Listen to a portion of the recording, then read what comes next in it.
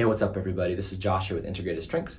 I'm making this video real quick to talk about something specifically related to the shoulder and I think where a lot of us kind of miss the boat when it comes to addressing shoulder impingement or issues on the front side of that shoulder. So I had a client come in today who was having some pinchy issues on the front of her shoulder when we were trying to do some shoulder flexion based exercises to just open up her range of motion a little bit, just some activation drills, but it was enough to elicit some symptoms here. So the first thing that we took a look at was just her bicep tendon and her rotator cuff. Those are two common areas that and things that you want to make sure are functioning well and are aligned properly before you start to go deeper down the rabbit hole with the shoulder stuff. So we ended up looking at her bicep tendon and it actually was indeed not where it's supposed to be. This is kind of an aside from what we're talking about here, but the bicep tendon, for what it's worth, the long head of the bicep tendon runs up through the uh, humerus here and it sits in a little bit of a groove in your humerus bone. And sometimes that tendon gets pulled medially because there's more muscles typically that are pulling stuff this way. So a quick easy reset is to simply start with your arm externally rotated, take your arm and put a little bit of pressure onto the anterior capsule. You can almost maybe even feel a little bit potentially where that bicep tendon kind of tends to sit. So you're pushing the tissue this way, arm here, and then you're just approximating the two together. So you're bringing the groove in the humerus bone towards the tendon, and you're pushing the tendon towards the groove. So if the tendon is out, displaced medially, this should help kind of gently move it back to where it wants to be. And oftentimes that will help with some pinchy stuff and some issues in the shoulder, or if you're getting some pain down the arm, even into the bicep. So that's number one. Me and my client did that. We both did that and then cleared her rotator cuff just to make sure all of her rotator cuff muscles were working properly, and they were.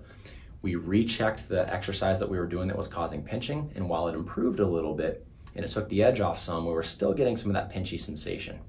So the next thing that I went to to check, just using my theoretical understanding of biomechanics, was to take a look at just how her scapula was actually articulating on her ribs and how the muscles that participate in scapular control were working. So the first one we looked at was her upper trap, and this is really the crux of this video, is understanding the upper trap and how to work with it. So I checked her upper trap, and I think, well, first I'll say, I think a lot of us, the upper trapezius has been vilified a lot within social media and this training circles and rehab circles because it's a really commonly tight muscle for a lot of people.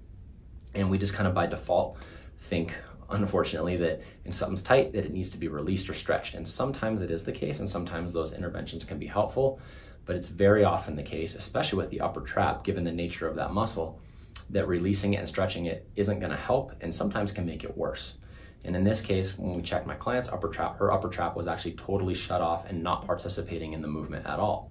So instead of releasing it or stretching it, which would have just made it worse and destabilized it more, we did some different interventions. And I'm not going to get into the details because that's kind of the body work stuff that I do. But we did some interventions to get her upper trap back online, working and participating again in movement. And sure enough, when we rechecked that exercise, pinching totally gone. And so I want to share this because I think it's important to understand and remember that when something's tight, it doesn't necessarily need to be stretched, right? A headache is not an aspirin deficiency. There's a reason why a muscle is shut down or weak or tight or not able to participate in a movement or a joint involved in a movement is getting pissy because maybe some of the muscles in that movement are not working well and integrating well.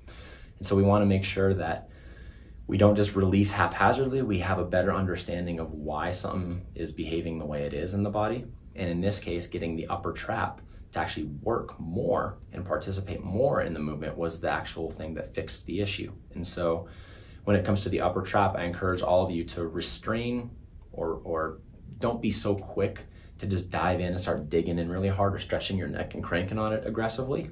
I would actually focus on trying to do something that's going to get the upper trapezius muscle to actually work more. First, maybe in isolation, but then doing some stuff where you're getting it to participate in overhead motion type of activities. And you're probably gonna have more success with that. So hopefully that was helpful. If you like these kind of videos, I'm more than happy to do more of these going forward. Um, there's a million and one topics I can do these types of videos on.